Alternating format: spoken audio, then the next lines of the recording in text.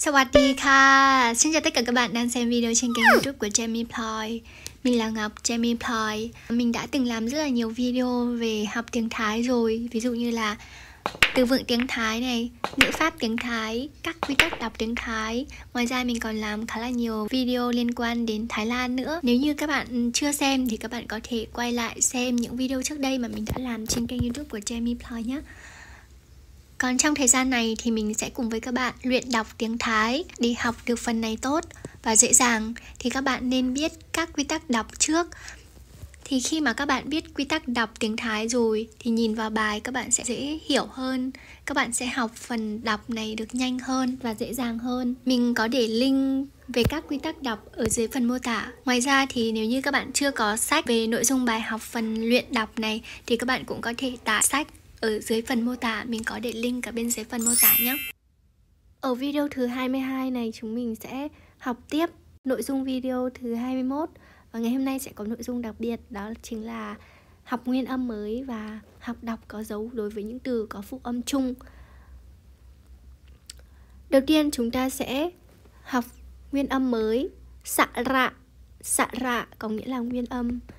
An xạ rạ đọc nguyên âm ở đây chúng ta có nguyên âm mới, đó chính là nguyên âm ưa mọi người ạ.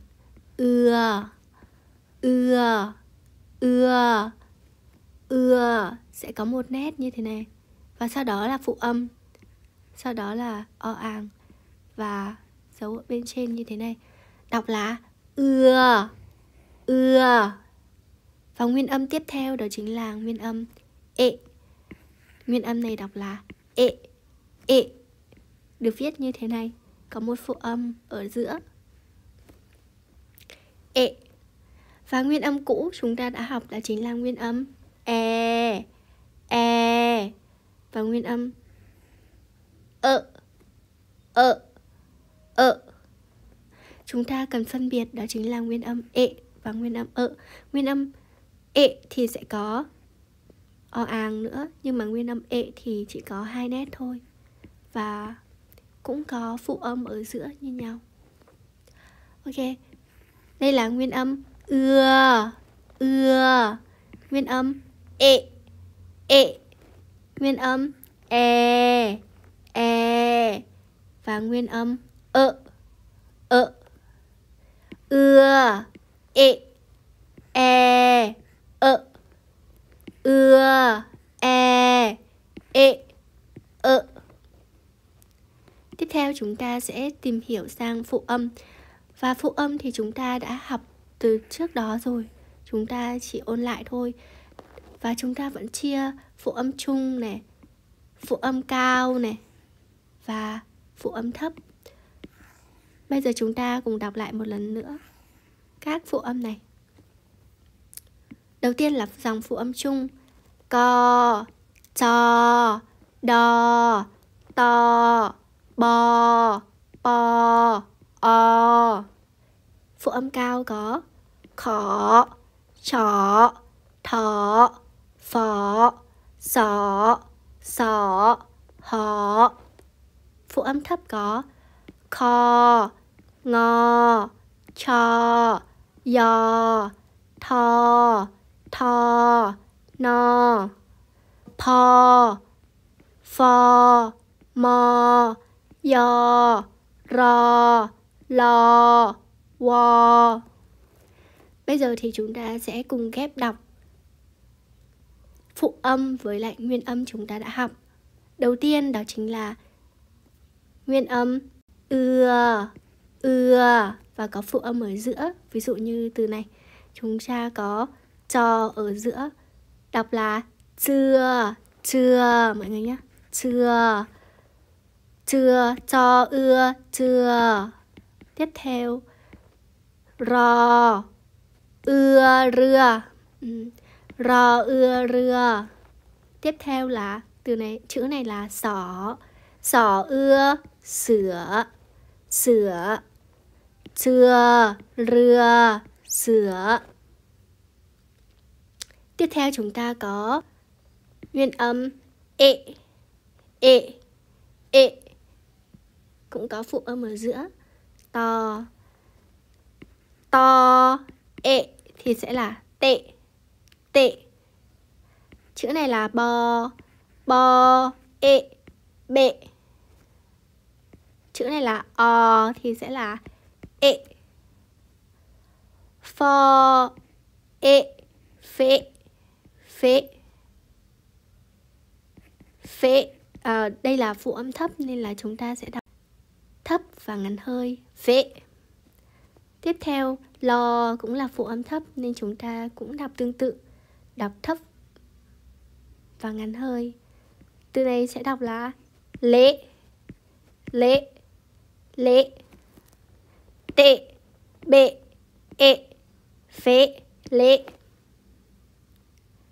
và chúng ta sẽ ghép đọc với nguyên âm e thì có phụ âm ở đằng sau. Ví dụ như là kho e sẽ đọc là kè e, e, e, po e pè lo e lè trỏ e trẻ thở e thẻ họ e hẻ co e kè bo e bè po e bè chưa rưa sửa tệ bệ ệ phế lệ kè pè lè trẻ thẻ hẻ kè bè bè Tiếp theo chúng ta sẽ học kép đọc với nguyên âm ợ, ợ, ợ. Ví dụ như giò là phụ âm thấp thì chúng ta sẽ đọc thấp và ngắn hơi bởi vì ợ là nguyên âm ngắn mà. Thì từ này sẽ đọc là thì từ này sẽ đọc là dỡ, dỡ, dỡ. Từ này sẽ đọc là thò ợ, thơ, thơ lo ơ lỡ trò là phụ âm chung chúng ta sẽ ghép đọc bình thường cho ơ, chợ. Chỏ là phụ âm cao, sẽ đọc là chợ chợ. Thỏ là phụ âm cao, cũng ghép đọc bình thường là thợ thợ. Dỡ dỡ thợ lỡ chợ chợ, thợ. Tiếp theo chúng ta sẽ àn pen khăm đọc thành từ. Chữ này ghép đọc là cho ưa, chưa chưa, ro ưa, rưa, sỏ ưa, sửa po e pè hò e hẻ cho ơ, chợ, thỏ ơ, thợ do ơ dỡ trỏ ơ, chợ, lo ơ lỡ, tho ơ, thớ to ê, tê, o ê ê, lo ê lệ tiếp theo chúng ta sẽ đọc các từ sau đây. Từ này sẽ đọc là rò ưa rưa rưa rò ưa rưa rưa có nghĩa là cái thuyền tiếp theo, sọ, ưa, sửa sửa sửa, có nghĩa là con hổ. Rưa, sửa. Tiếp theo chúng ta đọc chưa nám chưa nám. Thăm rưa thăm rưa thăm rưa. Thăm có nghĩa là làm, rưa có nghĩa là cái thuyền làm cái thuyền thăm rửa. tiếp theo là sửa đầm sửa đầm sửa đầm. Sửa có nghĩa là con hổ, đúng không? Đầm là màu đen. Nhưng mà sửa đầm có nghĩa là con báo đen nhé thăm phe thăm phe. Thăm có nghĩa là làm. Phe là cái bè. Thăm phe, làm bè tè ní tè ní tè ní. Tiếp theo, mi dẻ mi dẻ mi dẻ có nghĩa là có nhiều. Mi có nghĩa là có dẻ có nghĩa là nhiều. Tiếp theo, khẩu pé khẩu pé khẩu có nghĩa là cái sừng. Pé có nghĩa là dê. Tiếp theo là dỡ Dạ. dẻ dỡ dẻ dạ. là rất nhiều. Đu thợ. Đu thợ. Đu có nghĩa là xem. Thợ có nghĩa là đi. Từ mới mọc trong tiếng thái. Đu thợ, xem đi. Chợ, chờ. Chợ chờ. Chợ cũng là gặp. Chờ cũng là gặp. Gặp gỡ.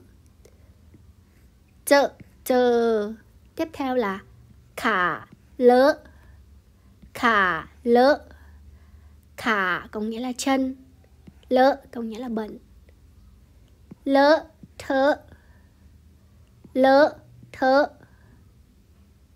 lỡ thơ thơ thả. Thơ thả. Thơ thả.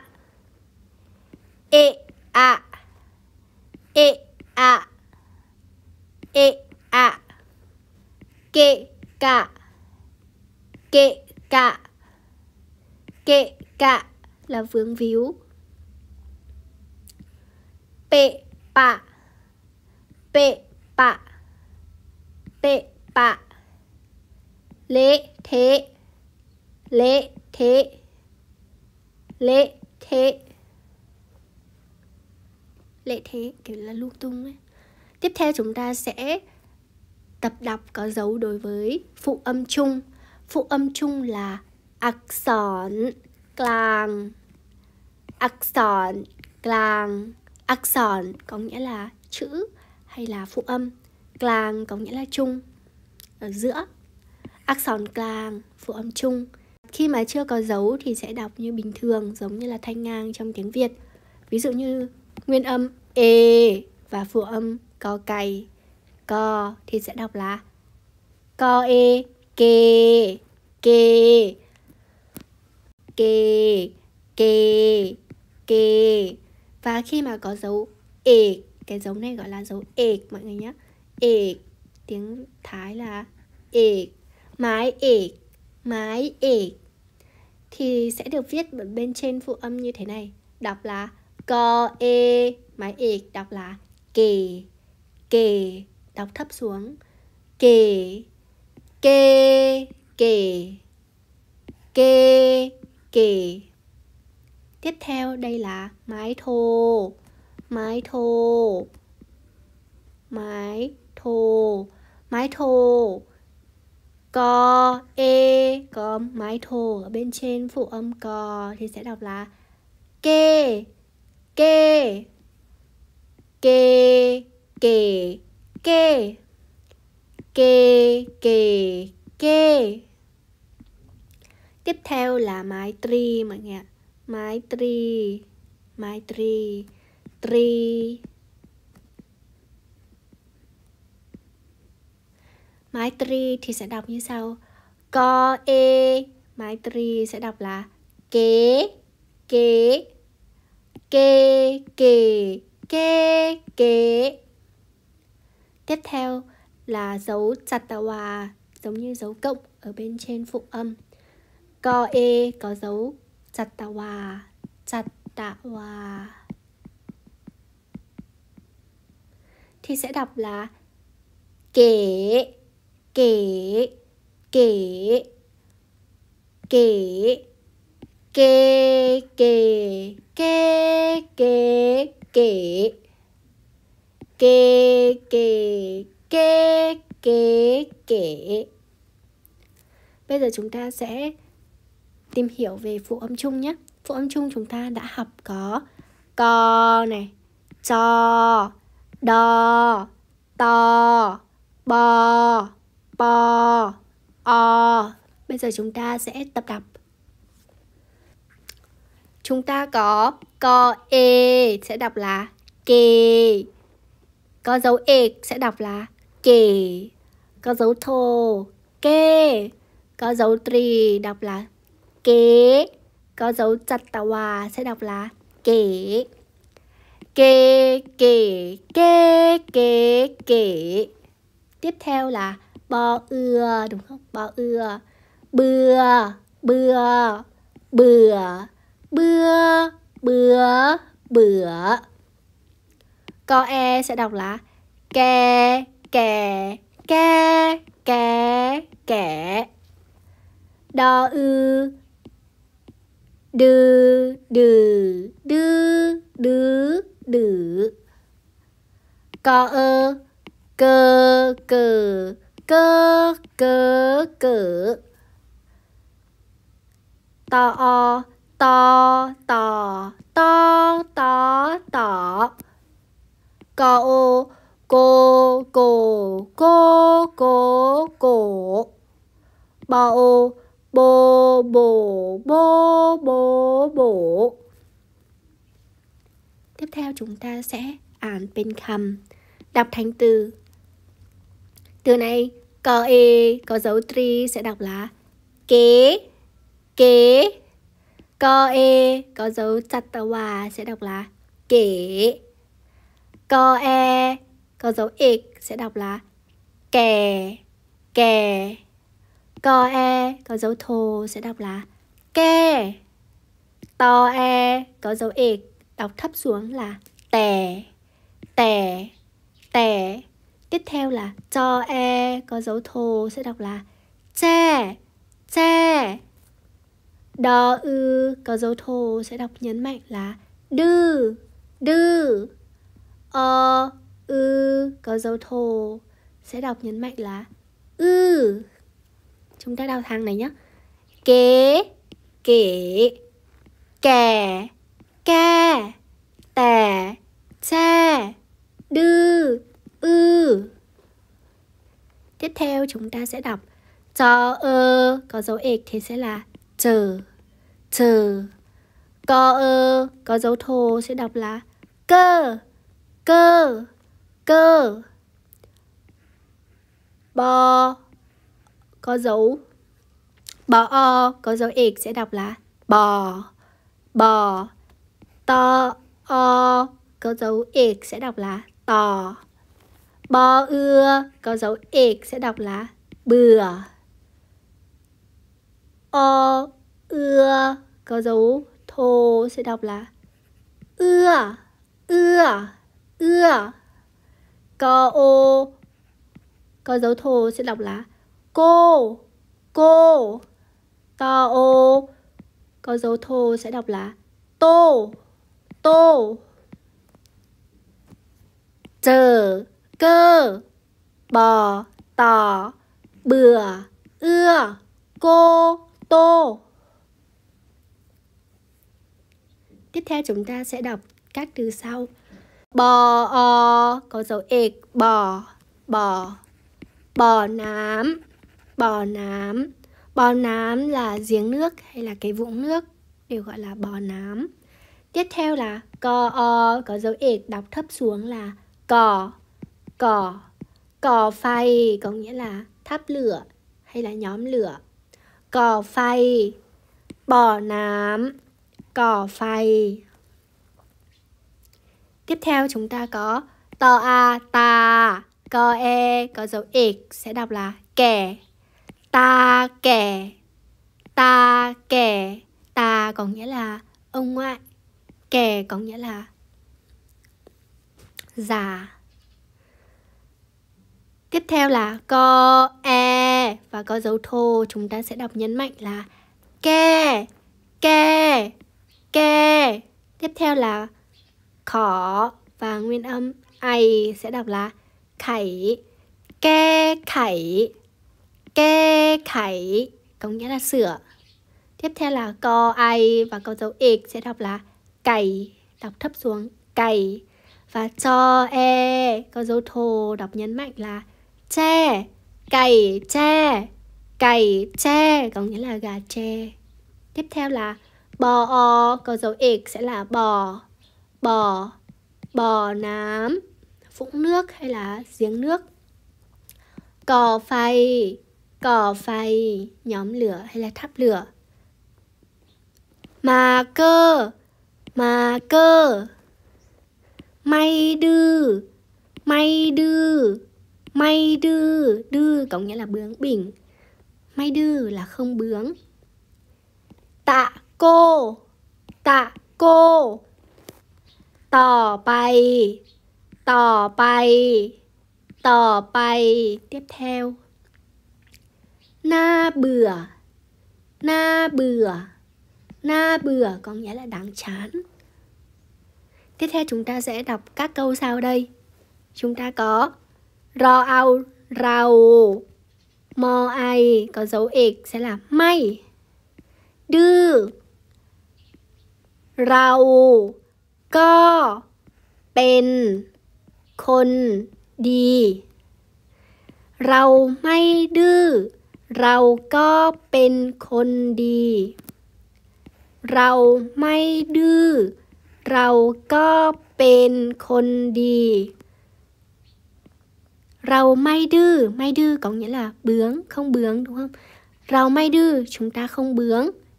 Rầu co bên khôn đi chúng ta sẽ thành. Bên có nghĩa là thành hay là khôn đi là người tốt. Rầu may đư. Rầu co bên khôn đi chúng ta không bướng, chúng ta cũng sẽ là người tốt. มื่อเราทำไม่ดี เราก็แก้ไขให้ดีได้ เมื่อเราทำไม่ดี เราก็แก้ไขให้ดีได้เมื่อ có nghĩa là khi khi chúng ta làm không tốt chúng ta cũng có thể sửa cho tốt được เราไม่ดื้อเราก็เป็นคนดีเมื่อเราทำไม่ดี เราก็แก้ไขให้ดีได้